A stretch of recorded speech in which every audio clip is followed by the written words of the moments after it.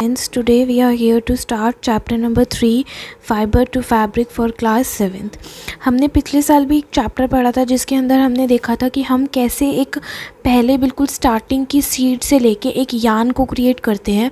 इस चैप्टर में भी हम वही पढ़ेंगे, लेकिन इस चैप्टर में हम पढ़ेंगे कि वो वूल्स या फिर वो चीज़ें जो हमें एनिमल प्रोडक्ट से मिलती हैं, वो फाइबर्स जो हमें एनिमल प्रोडक्ट से ऑप्टेन होती हैं, हम उनके बारे में पढ़ेंगे। लाइक वूल वूल जो है वो हमें एक एनिमल से हो एनिमल से प्रोवाइड होती है, जो कि जैसे हेयर्स ऑफ़ शीप या याक के जो हेयर्स होते हैं, उनसे हमें मिलके बनती है। लाइक सिल्क फैब्रिक होता है, वो सिल्क फूम से मिलके सिल्क माउथ से मिलके बनता है। सिल्क वॉम होते हैं, जो वो अपना कोकून क्रिएट करता है, उसके बाद हमें सिल्क प्रोवाइड होती है। तो इस टाइप की कुछ चीज़ें हम इस चैप्टर में पढ़ेंगे। सबसे पहले आता है wool wool and silk animal fibres. सबसे पहले वूल के बारे में पढ़ते हैं। वूल हमें बहुत सारे बहुत सारे एनिमल्स से मिलते हैं, जैसे कि शीप, कोट, याक और अदर और सारे एनिमल्स होते हैं जो हमें वूल्स प्रोवाइड कराते हैं। वूल एक्चुअली में होती क्या है? वूल इन एनिमल्स का हेयर्स होता है जो इनकी बॉडी पे ग्रो करते हैं। ठीक है? हेयर्स का क्या काम होता है इनकी बॉडी के ऊपर? कि ये इनकी जो एयर होती है, जो हॉट एयर्स होती है, वो एयर्स के बीच में ट्रैप हो जाती है और इनकी जो बॉडी होती है, ये हेयर्स इनको प्रोटेक्ट करने का काम करते हैं। ठीक है? सबसे पहले हम एक्टिविटी 3.1 करते हैं। इस एक्टिविटी के अंदर क्या है कि आप अपनी बॉडी के ऊपर जो हेयर्स हैं डिफरेंट डिफरेंट पार्ट्स पे, उनको फील करने के लिए ट्राई करो। जो हेयर्स आपकी हेड पे हैं और जो हेयर्स आपकी हैंड पे हैं, उनके टेक्सचर में बहुत फ़र्क होगा। जो हेड जो हेड के ऊपर है, उनका टेक्सचर थोड़ा हार्ड होगा और जो स्किन के ऊपर है, उनका टेक्सचर थोड़ा सॉफ्ट होगा। ऐसे ही कुछ टाइप के दो जो हेयर्स होती हैं, वो एनिमल्स के ऊपर भी होती हैं और उनको हम फैब्रिक में टू टाइप ऑफ़ फाइबर्स के अंदर डिफ़ाइन करते हैं। जैसे कि कोर बियर्ड फाइबर और skin soft fibre under the coarse skin ठीक है? तो ये दो टाइप के हेयर्स होते हैं तो इनको हम क्वालिटी वाइज अलग अलग करते हैं। अलग अलग एनिमल्स में अलग अलग टाइप के हेयर्स प्रोवाइड होंगे। अलग अलग बॉडी पार्ट के ऊपर अलग अलग टेक्स्चर के होंगे सो उससे अलग अलग वूल क्रिएट होगी। तो हम इससे क्या करते हैं, हम उनको सेपरेट कर देते हैं। उनकी कैटेगरी बना देते हैं कि सॉफ्ट हेयर वाले एनिमल्स ये हैं और इस बॉडी इस बॉडी पार्ट के ऊपर कलेक्ट करने हैं। हार्ड हेयर्स वाले ये हैं। इस सिलेक्टिंग जो होता है the process of selecting parents for obtaining the special characters in their offsprings under the soft hairs उनको हम क्या कहते हैं सिलेक्टिव ब्रीडिंग कि हम उन ब्रीड्स को, उन एनिमल्स को अलग से सिलेक्ट करते हैं। ठीक है? देन आता है एनिमल्स डैट येल्ड वूल अब वो एनिमल्स जो कि वूल प्रोवाइड कराते हैं। बहुत सारे एनिमल्स होते हैं, ज़रूरी नहीं है कि सिर्फ़ शीप ही होती है। डिफरेंट पार्ट ऑफ़ कंट्री में अलग अलग एनिमल्स होते हैं अलग अलग सोर्स ऑफ़ वूल होती है जो हमें मिलते हैं। Commonly available in a market जो होती है, जो हमें बहुत कॉमनली अवेलेबल होती है, वो शीप वूल ही होती है। याक वूल भी होती है। याक वूल जो होती है वो तिब्बत और लद्दाख साइड थोड़ी ज़्यादा मिलती है। हिली रीजन्स के अंदर भी मिलती है, जैसे कि जम्मू एंड कश्मीर हो गया। और भी बहुत सारे सोर्सेज होते हैं या और भी बहुत सारी स्टेट्स हैं हमारी कंट्री के अंदर जहाँ पे हमें वूल ऑप्टेन होती है। लाइक like जो अंडर फर होती है, कश्मीर की सॉफ्ट गोट से ली जाती है। जो कश्मीर साइड हमें वूल मिलती है, वो गोट से प्रोवाइडेड होती है, जिसको हम पश्मीना शॉल्स बोलते हैं, जिनसे बनी, बनाई जाती हैं। उसके बाद आता है फ़र एंड हेयर फ़र और हेयर्स जो होते हैं, वो, जो हेयर्स होते हैं बॉडी के ऊपर कैमल की बॉडी से भी वूल क्रिएट की जाती है, ठीक है? एल्सना जो साउथ अफ्रीका के अंदर मिलती है, ऐसे बहुत सारे अलग अलग एनिमल्स हैं जिनकी बॉडी के हेयर्स को यूज़ करके हम लोग वूल ऑप्टेन करते हैं, ठीक है? आपको एक एक्टिविटी 3.2 करनी है, इसके अंदर आपको क्या करना है? आपको पिक्चर्स कलेक्ट करनी है उन एनिमल्स की, जो कि हमें वूल प्रोवाइड कराते हैं और उनको अपनी स्क्रैप बुक के अंदर पेस्ट करना है एंड यू विल सी कि बहुत सारे डिफरेंट डिफरेंट एनिमल्स होते हैं जो हमें डिफरेंट डिफरेंट सिटीज़ या डिफरेंट डिफरेंट कंट्रीज़ में मिलते हैं जिनसे हम वूल क्रिएट करते हैं जिनसे हम वूल बनाते हैं। वो डिफरेंट डिफरेंट लैंग्वेजेस के अंदर भी मिल डिफरेंट डिफरेंट लैंग्वेजेस में हो सकता है कि सेम एनिमल को डिफरेंट डिफरेंट लैंग्वेजेस में कुछ और बोला जाता हो सो दिस कैन ऑल्सो भी पॉसिबल ठीक है? तो आपको ये कलेक्ट करना है। उसके बाद आपको क्या करना है कि अगर आपको इनकी पिक्चर्स नहीं मिले तो आप बुक में से देख के ड्रॉ भी कर सकते हो। जैसे कि आपको यहाँ पे 3.2, 3.3, 4, 5, 6, 7 ये दी हुई है। ये सभी के सभी हमें वूल्स प्रोवाइड कराते हैं। ठीक है? उसके बाद आपको क्या करना है, एक एक्टिविटी थ्री पॉइंट थ्री भी करनी है। जैसे एक्टिविटी टू पॉइंट टू में आपने एनिमल्स देखे थे, अब एक्टिविटी थ्री पॉइंट थ्री में आपको क्या करना है, एक आउटलाइन मैप लेना है इंडिया और वर्ल्ड का। उसके अंदर आपको प्लेसेस मार्क करनी है, जहाँ जहाँ से हमें वूल ऑप्टेन होती है। पहले एनिमल्स को फाइंड करना है, फिर उसके बाद उन स्पेसिस को फाइंड करना है, जहाँ पर ये मिलते हैं लोकेशंस और डिफरेंट डिफरेंट कलर्स को यूज़ करना, उनको लोकेट करने के लिए, जिससे आपको पता लगे कि हमारे इंडिया में या हमारे वर्ल्ड में ऐसी कितनी जगह है जहाँ पर हमें वूल मिलती है, बहुत ईजिली मिलती है। आपको you will be surprise to see that कि बहुत सारी जगह है जहाँ से हम लोग वूल ऑप्टेन कर सकते हैं। ठीक है? नाउ हम लोग, हमने ये तो देख लिया कि हमें वूल किससे ऑप्टेन होती है? शीप से ऑप्टेन होती है याक से ऑप्टेन होती है। लेकिन कैसे ऑप्टेन करते हैं? इसका प्रोसेस क्या है? हम वो स्टार्ट करते हैं। ठीक है? सबसे पहले हमारे पास आता है rearing and breeding of an sheep हमने फ़र्स्ट टाइम पे पढ़ा कि हमें बहुत अलग अलग जगह के ऊपर शीप्स मिलती हैं, या बहुत अलग अलग सिटीज़ के अंदर, बहुत अलग अलग कंट्रीज़ के अंदर स्टेट्स के अंदर हमें मिलती है। तो यहाँ पे ये लोग कैसे ऑप्टेन करते हैं? सबसे पहला होता है रेयरिंग रेयरिंग का मतलब है चराना, जिसको हम हिंदी में बोलते हैं। लाइक अगर आप कभी जम्मू एंड कश्मीर, हिमाचल प्रदेश, सिक्किम, आंध्र प्रदेश, इन साइड में जाओगे तो आपको बहुत सारे ऐसे जो शीप्स रेयरर्स हैं, वो मिल जाएँगे, जो बहुत हर्ड के अंदर इनको लेकर जाते हैं ग्रेस करने के लिए। जो मोस्ट ऑफ़ द टाइम जो होती हैं शीप्स हमारी क्या खाती हैं? ग्रास ग्रीन लीव्स खाती हैं। लेकिन जो ग्रा जो ग्रेजिंग के लिए लेके जाते हैं, उनको पल्सेस कौन ज्वार ऑयल केक्स ये सब चीज़ें भी खिलाई जाती है। लेकिन विंटर के अंदर क्या होता है शीप को अंदर ही रखा जाता है और उसको लीव्स और ग्रेन्स ड्राई फ्रॉडर ही दिया जाता है, जो कि उनको ग्रेस करते ग्रेस करने के लिए लेके जाते हैं पर्सन वो उनको अंदर ही रखते हैं और उसी टाइप का फ़ूड खिलाते हैं उनको। थोड़ा कि मतलब leaves grains dry fodder types जो होती है। ठीक है? डिफरेंट डिफरेंट कंट्रीज़ में इनको मिलते हैं डिफरेंट डिफरेंट ब्रीड की होती है। हमने अभी देखा कि जिनको थिक कोटेड हेयर्स होती हैं जिनको थोड़े मोटे हेयर्स होते हैं किसी को सॉफ्ट हेयर्स होते हैं तो वो डिफरेंट डिफरेंट कैटेगरीज़ की वूल होती हैं। लाइक जो स्वेटर के लिए होती है वो अलग होती है। शॉल्स में जो आती है वो अलग होती है। आपकी सेमी वलन्स अलग आते हैं। तो ये डिफरेंट डिफरेंट टाइप की वूल्स होते हैं जिनके बेसिस पे इनको सिलेक्टिव ब्रीड किया जाता है। जो कि उन ब्रीड्स को सिलेक्ट किया जाता है कि कौन से टाइप की हेयर्स कौन सी ब्रीड में मिलते हैं तो उनको अलग से सिलेक्ट कर लिया जाता है। सो so, ये होता है रेडिंग और ब्रीडिंग सबसे फ़र्स्ट प्रोसेस नेक्स्ट प्रोसेस आता है process of fibre into wool हमें ये तो पता लग गया कि हमने वूल कैसे ऑप्टेन करी, कौन ऑफ़ कहाँ से ऑप्टेन होते हैं, जहाँ पे जब वो उसको रेयर और ब्रीड को अलग अलग कर देते हैं। अलग अलग टाइप की वूल मिलती है। अब प्रोसेस प्रोसेस क्या होता है इनको करने का, जिसके अंदर सबसे फ़र्स्ट स्टेप आता है शेयरिंग इसके अंदर क्या होता है कि जो शीप होती है, उसकी टॉप मोस्ट लेयर होती है हेयर के साथ एक स्किन की लेयर भी उतार ली जाती है, जिसको, जो आजकल तो ये सभी काम किससे होने लगे? मशीन से। शेयरिंग का काम किससे होने लग गया? मशीन्स के साथ। अदरवाइज़ पहले क्या होता था, जो बार जैसे हमारे हेयर ट्रिम करते हैं, ऐसी ही शीप्स के साथ भी ट्रिम किया जाता था उनको। ठीक है? लेकिन and now you will wonder कि उनकी स्किन भी उतार ली जाती है, लेकिन उनकी स्किन वो स्किन जो होती है, वो डेड स्किन होती है, जो कि रिमूव बहुत ईजिली हो जाती है और उनको हर्ट भी नहीं होता इस चीज़ के। लिए, ठीक है? और जो ये शिपिंग का काम होता है, जो ये वूल हटाने का काम होता है, ये most of the time summer season में किया जाता है। रीज़न ये होता है क्योंकि जो उनके हेयर्स होते हैं, वो उनको विंटर्स में प्रोटेक्ट करते हैं वार्म रखने के लिए।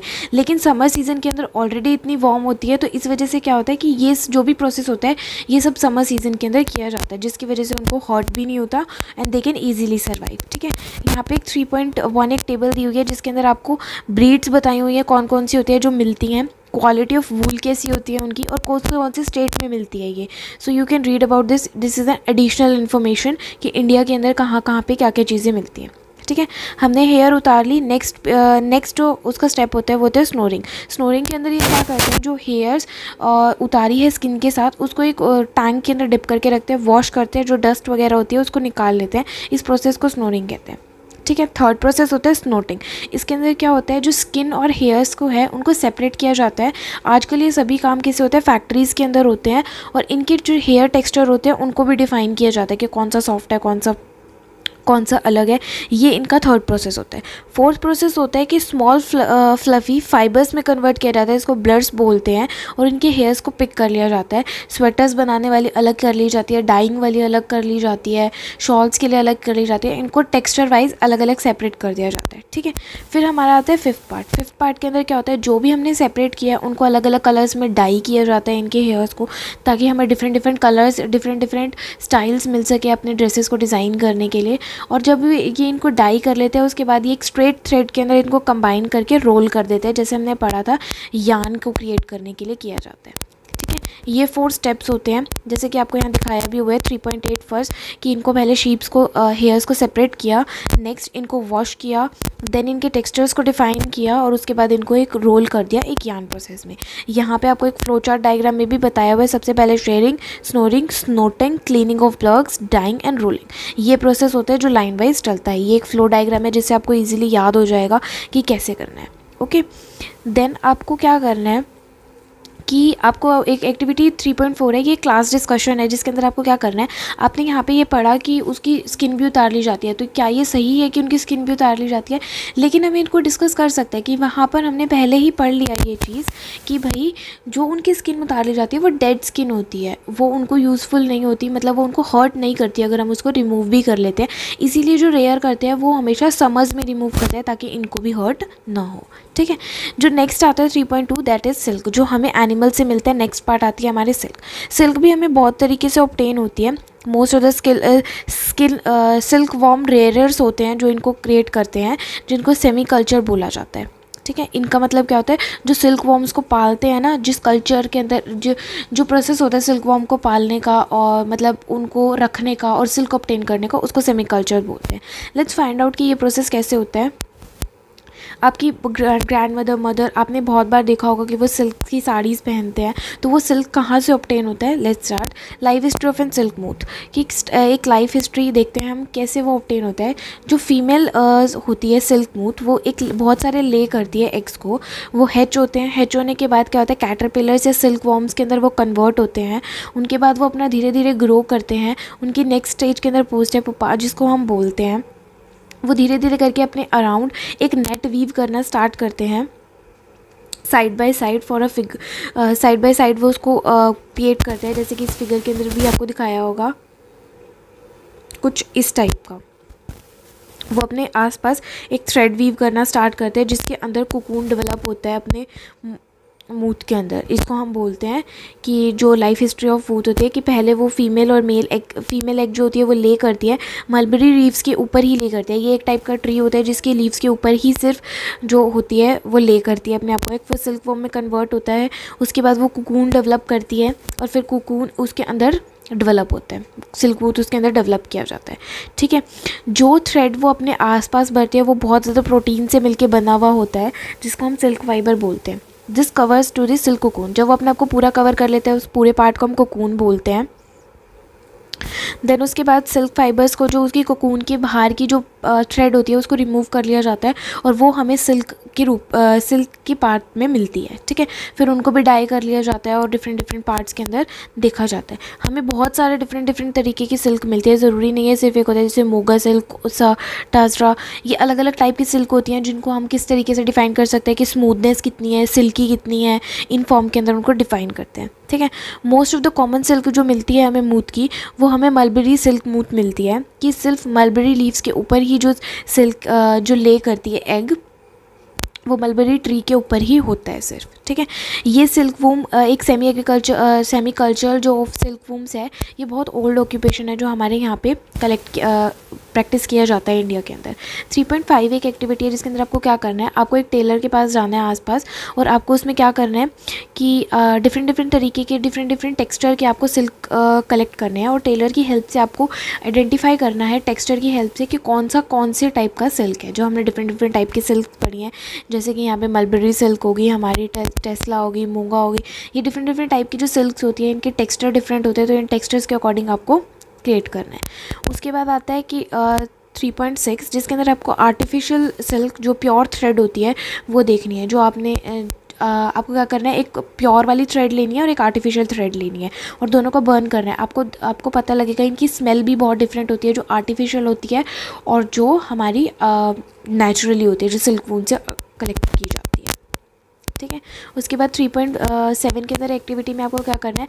आपको जो life history of silk worm होती है, वो पूरी की पूरी एग से लेके बिल्कुल कोकून तक की लाइफ हिस्ट्री आपको या तो आप कॉपी पेस्ट कर सकते हो या आप ड्रॉ भी कर सकते हो, जिससे आपको लाइफ हिस्ट्री याद रहे और उनको अरेंज करने के लिए देखो कि जिससे आपको पता लग पाए कि कैसी कैसी मतलब उसकी लाइफ साइकिल होती है कि मतलब बिल्कुल स्टेज वाइज आपको पता होना चाहिए कि कैसे उसकी स्टार्ट होता है। पहले वो एग को ले करता है फिर उसके अंदर सिल्क फॉर्म में कन्वर्ट होता है कोकून डेवलप होता है उसके सिल्क मूथ उसके अंदर डेवलप होता है। तो पूरी आपको वो अरेंज करनी है ताकि आपको याद रहे।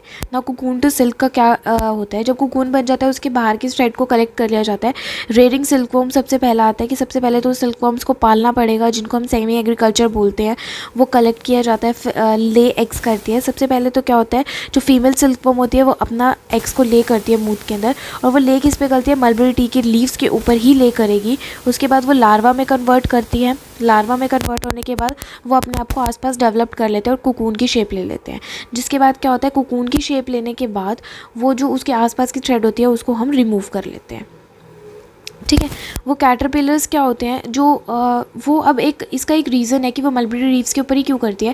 क्योंकि वहाँ पे जो लीव्स होती है उसके अंदर बहुत ज़्यादा प्रोटीन होती है और जो उसके अंदर लार्वा होता है उसको खाने के लिए जो लीव्स मिलती रहती हैं thirty to twenty to twenty five days के बाद जो मलबरी लीव्स ग्रो करती है कैटरपिलर्स उनको खाना बंद कर देते हैं और जो उसके अंदर एक बैम्बू होती है जिसके अंदर जाके वो रहने लगते हैं और अपने आप को डेवलप करने लगते हैं जिससे हम लोग कुकून के जो आसपास के थ्रेड है उनको बाहर निकाल सकते हैं। प्रोसेस सिल्क उसके बाद जो वो कोकून होता है, उसको थोड़ा थोड़ा प्रोसेस किया जाता है और उसके बाद उसको डाई करके स्टॉप कर दिया जाता है। तो वो कन्वर्ट हो जाती है सिल्क के अंदर, जिसके हम लोग क्लोथ्स पहनते हैं थ्रेड्स बनते हैं अलग अलग तरीके के होते हैं, ठीक है?